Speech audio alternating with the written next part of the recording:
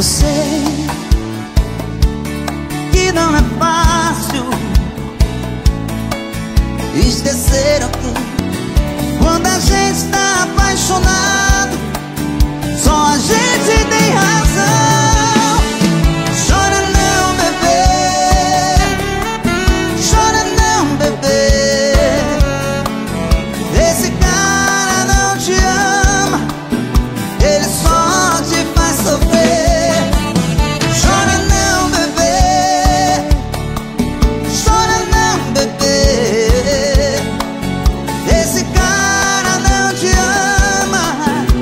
só te faz sofrer.